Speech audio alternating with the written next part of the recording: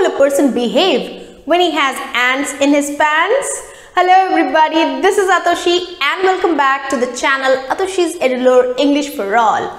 Yes, this is an idiom which means to be restless, worried and impatient. So when a person is very restless, worried and very impatient, we can say that he has ants in his pants. The children have ants in their pants because tomorrow is Christmas and they are overjoyed, excited for their presents. I have ants in my pants because I have exams tomorrow. I am worried and restless because of the examination tomorrow. So I have ants in my pants. Have you ever noticed that our students have ants in their pants whenever they are asked to speak on a topic.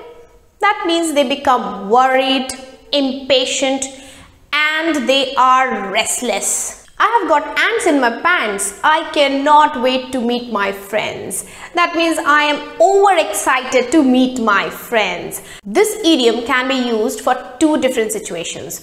When you are overjoyed, overexcited and very happy and the other one is when you're worried, anxious and you feel restless. So here you have got another idiom in your vocabulary bag. Now quickly frame a sentence and write it below. I'll be again back with another idiom. Till then, take care, bye-bye and yes, don't forget to like, share and subscribe.